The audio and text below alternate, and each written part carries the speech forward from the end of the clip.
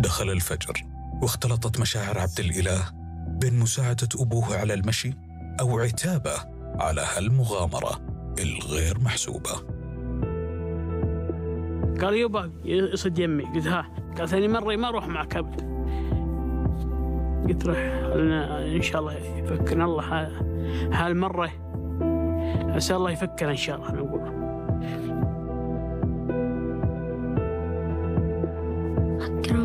فكرهم في أحد ينقذنا ولا إي والله تأثر بالحيل تأثر بالحيل. وإحنا ماشيين وإحنا ماشيين يوم طلعت علينا الصبح.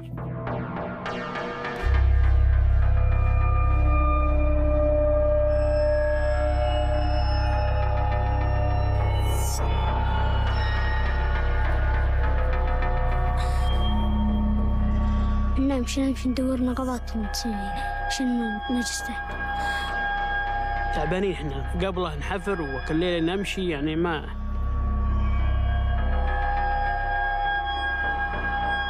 قلت نبي الطرق حقت السيارة.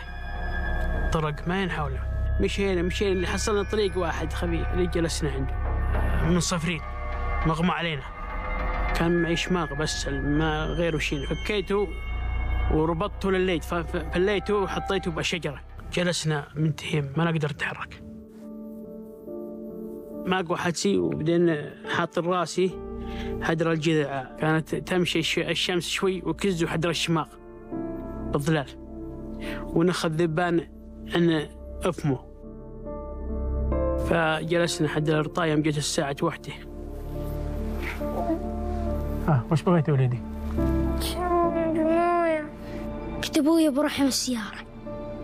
قال لا اجلس اجلس كنا نقضي سيارة تمرنا أو في أحد ينقذنا أو في أحد يجينا. حتى الأهل والبيت ما علمتهم وين رحت منين جاي وين طريقي ما في. بس مش شغلت ومشيت وهذا خطأ.